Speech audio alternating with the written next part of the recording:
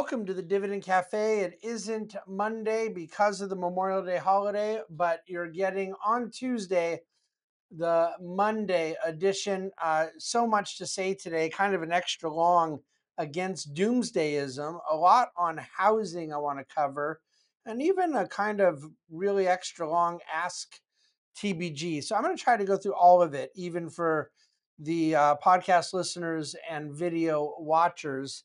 Um, but of course, inside Dividend Cafe is where you get some charts and other fun things like that. Also, links. There was a fair amount. I actually had a couple of interviews before I even left my apartment early this morning, and uh, Brian Szytel did a interview on Cheddar TV on Friday. So all those links are there at Dividend Cafe in today's entry. Check it all out.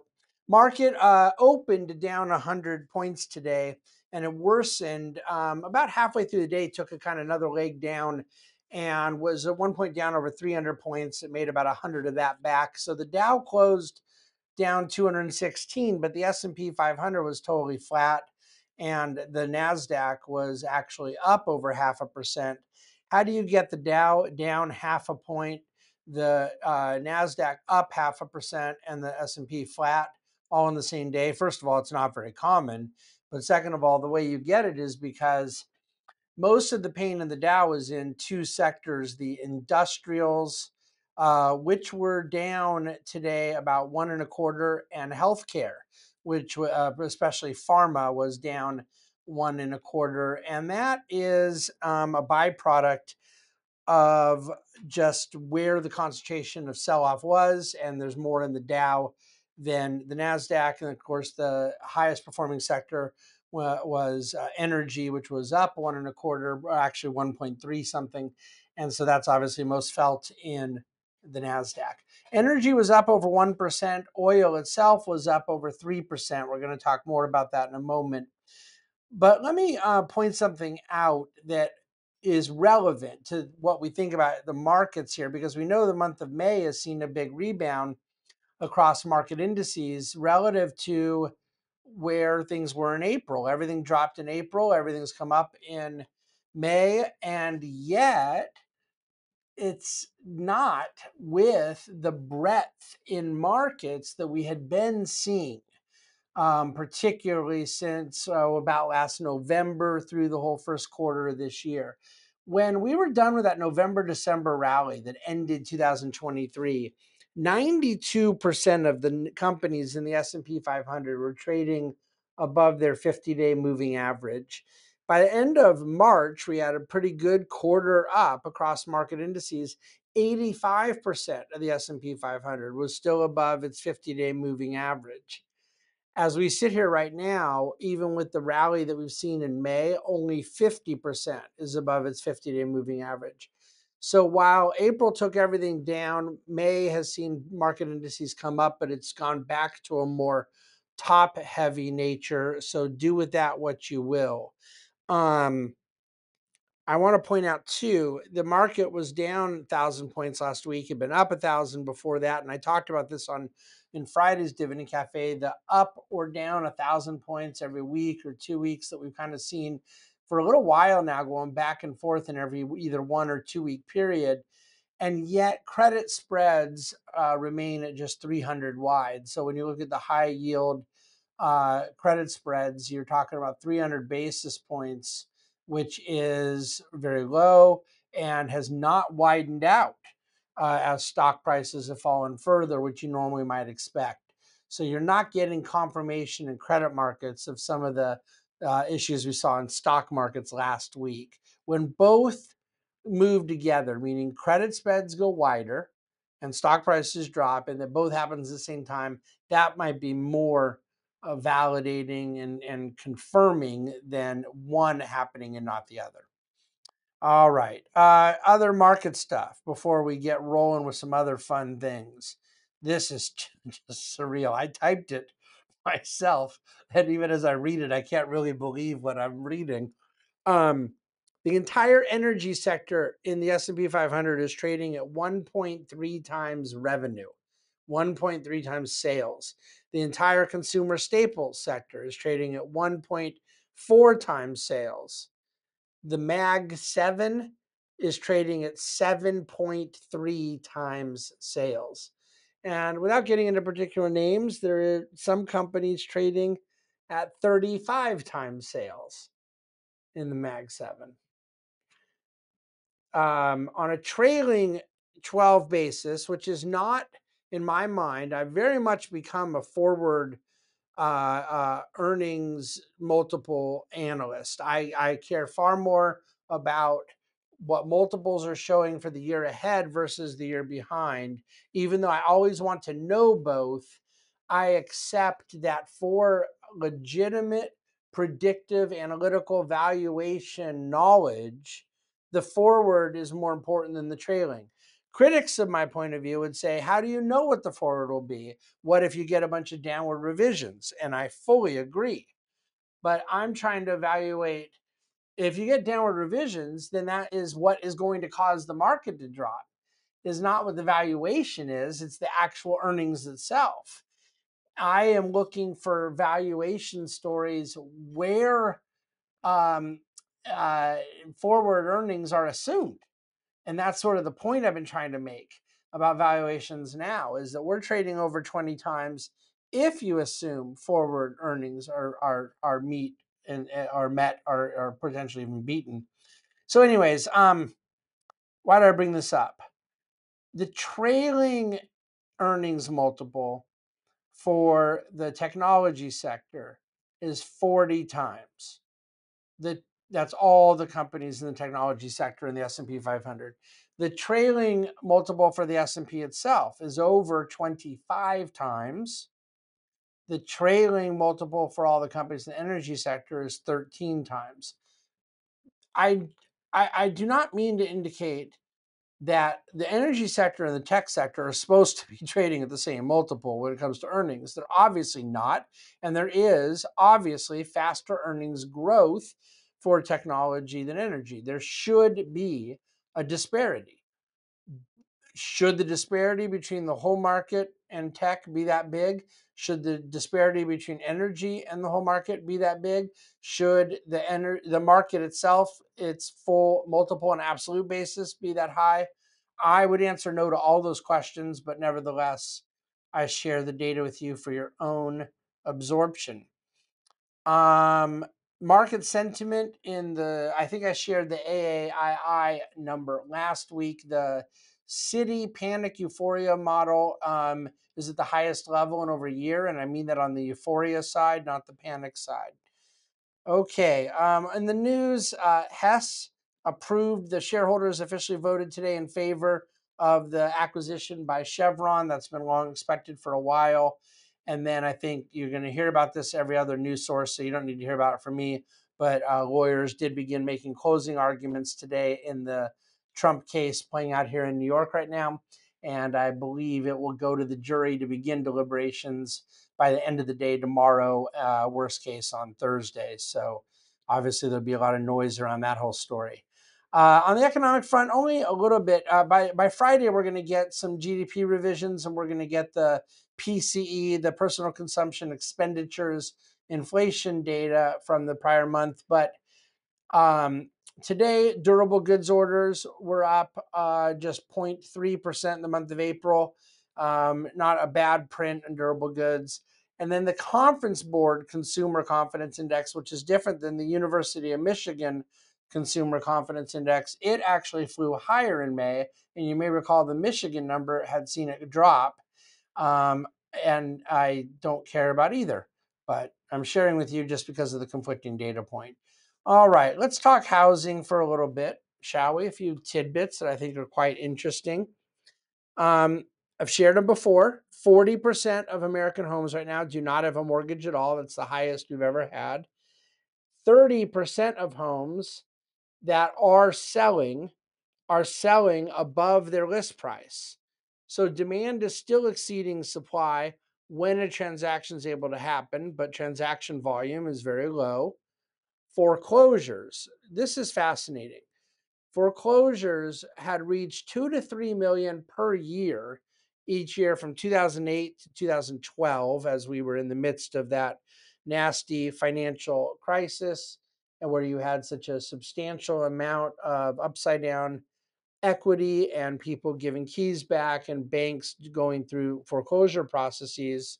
Um, foreclosures are essentially at zero now. It's not literally zero, but by a statistical comparison, it basically is the same as zero.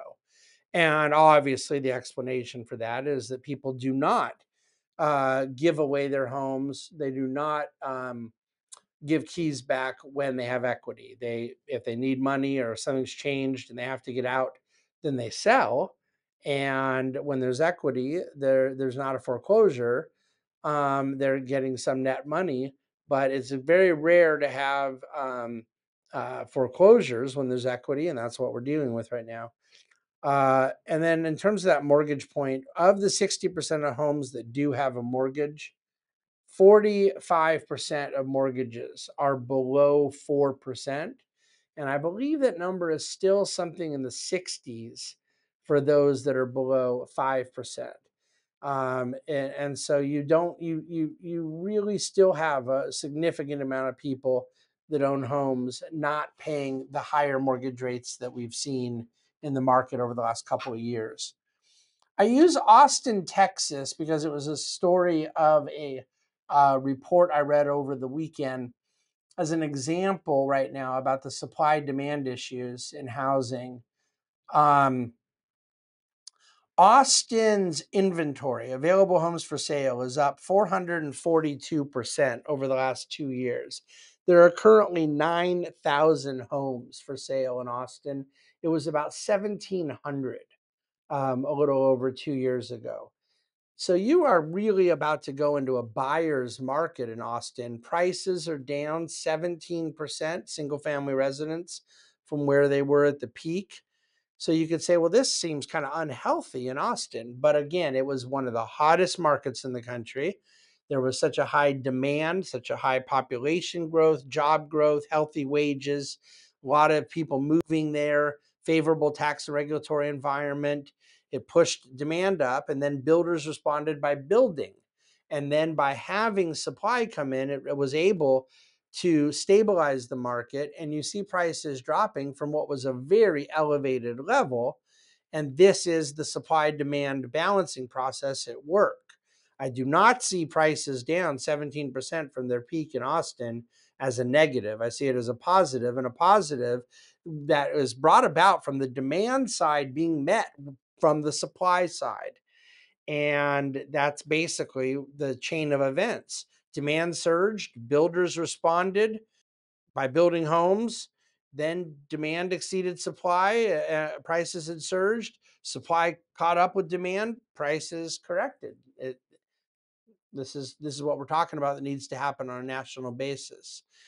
Um, single family home sales on a volume basis uh, declined 4.7% month over month in April. And uh, let's see, from the year they're down 7.7% versus a year ago. And a year ago they were they were had dropped significantly. Um, so I mentioned Austin. It was a couple other Florida cities that have seen the most pronounced drop in prices as of late. But um, the highest home price appreciation out of 60 major metropolitan markets in the United States over the last 12 months. Uh, Indianapolis, um, oh, excuse me, Milwaukee is first, up 11.8%. Kudos to Laverne and Shirley. Indianapolis was up 11%, and Providence, Rhode Island, just behind that at up 10.5%. Um, finally, housing, the, the last factoid I want to share, very relevant to our overall conversation since 2022 is about the middle of the year that this uh, shifted. It had been forever since it had been like this. The monthly percentage of income spent on housing is higher for homeowners than renters. 35% of uh, m- monthly um, income is going towards housing cost if you're a homeowner, nationwide aggregates, 30% for renters and and that unlike the last time we saw the, this disparity this is not because rent prices are so low rent prices are very high and yet there's a significant delta 35% versus 30% uh, in terms of uh, cost with homeowners versus renters. Um, just, I think it's surreal. Okay, so right now we're sitting at 50 50 proposition for a Fed, a Fed rate cut in September. Um, it had been about 60% uh, just a couple of weeks ago. Um, then we're at a 62% odds for a rate cut in November, and we're at 83% odds for a rate cut by uh, the end of the year, effectively in December. Some of that 83% includes some of the odds that are baked in for being cut in, in November. I am becoming much more skeptical that they will end up cutting in September. I just think, what's the point of doing another quarter point, of doing your first quarter point which isn't going to move the needle much in financial conditions.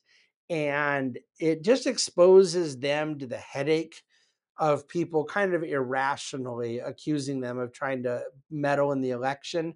There's very little precedent in a presidential election year of them doing something either way um, right before the election. And on a risk reward basis, even though I think it's kind of meaningless, what's the point of doing it when you can just wait till the November 7th meeting and take that accusation off the table? I think Jay Powell is reputation conscious, and I think that's very unlikely they'll end up cutting in September. And yet, I do still believe that they're very likely to cut uh, by the end of the year, but likely with some rate cuts in the either November or December or both meetings, which take place after the election. Uh, I mentioned before oil was up over 3% today. Oil prices were down 3% last week. Natural gas prices were down 4%. OPEC Plus meets this coming Sunday. I do believe that they are expected to maintain their current production cuts, and that will last through the end of the year, but we'll keep an eye on that. There's a chart in Dividend Cafe today about one of the biggest reasons to believe that natural gas prices, in particular, it applies to other fossil fuels as well um, that at least uh, apart from prices, demand level, because of course it's a both supply and demand story with with any fossil. Um, but when you look at the expected ongoing explosion of growth in electricity use and the way in which we power electricity in our country, just data centers alone is what the chart indicates. I think you have to understand that we are in need of the power to produce electricity. Um, so I came across a piece um, called The Seven Laws of Pessimism that I'm going to use as the next seven editions of our own Against Doomsdayism um, because I think it's such powerful stuff, and I think it helps explain some of the the pathology embedded in pessimism and also just kind of the logic as to what could cause people, uh, despite a lot of the rational optimism that I think ought to exist in the way we assess certain conditions and societal realities. Um, and I do think there's legitimate reasons to help understand where a pessimistic framework may come from. And the first law of pessimism, this is something that uh, was written by a gentleman named Martin Boudry that I think is just very, very uh, powerful is what he calls the law of the invisibility of good news. That progress happens gradually and often imperceptibly, but regress happens all at once and immediately grabs our attention. And and I ref, I was thinking about this in the con in the construct of what uh, in the excuse me the context of Roger Scruton, who was just a conservative mastermind um, brilliant uh, philosophical mind about the conservative posture. And he talked about the idea that conservatism is essentially the idea that good things are easily destroyed but not easily created. And that's a, a life lesson I believe in very much. Um, but when it comes to the subject of pessimism, I think the principle at play is that we see a car accident and and the car accident can be literal or metaphorical right now but we see the tragedy real time visibly we see it immediately um, and and again whether it's a crime or a financial event or or some natural disaster what have you um, these things tend to be dramatic and and all at once and then the things that are, are most substantially positive in society are very often gradual and they they are not as sensationalistic as, a, as some event and therefore they can become less prominent in the way we assess conditions.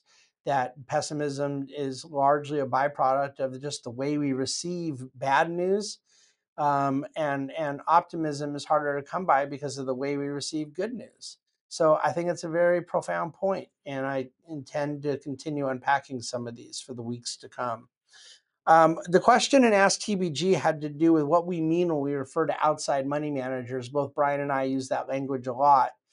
And I just want to be clear that we at our firm are full comprehensive global asset allocators. We have an internal um, framework by which we allocate capital that we refer to as Operation Magnify, and it has seven building blocks in a client portfolio. And I've talked about this quite a bit over the last several years but we are the ones that are taking full responsibility to allocate what percentage we think is appropriate based on a client's risk reward, uh, liquidity, income need, goals, timeline, and then also responsible to take that allocation and apply it inside an asset location. What is appropriate and most tax efficient in IRA accounts versus trust accounts versus Roth accounts, et cetera, et cetera. So we have to do the full asset allocation and then do it in the context of a location. But then within those individual ingredients, we are managing the portion that is US equity, what we call core dividend ourselves. And what I mean by that is we're actually trading it. We're doing the research, we're making the buy and sell decisions. So the whole soup to nuts of that portion of portfolio management is being made by us and uh, other advisors out there might be using ETFs or mutual funds. Their firm is very often picking an allocation for them or picking stocks or whatever the case may be, where we're very active and we're actually the ones running the US equity. Um, now, we may be deciding that Mr. Jones is going to have 10% of his money in boring tax free bonds, and we may be deciding that Mrs. Smith is going to have 30% in in boring taxable bonds. Um, but when it comes to the actual selection of bonds and the composition of a full bond portfolio, uh, we are not the ones selecting the bonds. We use an outside manager. In our particular case, for tax free, we use a company called Invesco. For taxable, we have a very long term relationship with a company called Voya.